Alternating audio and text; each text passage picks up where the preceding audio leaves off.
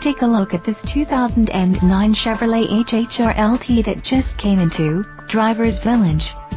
This four-door SUV comes equipped with AM-FM stereo, CD player, MP3 player and provides you with a sense of security with its safety features, including four-wheel ABS, privacy glass, daytime running lights and more.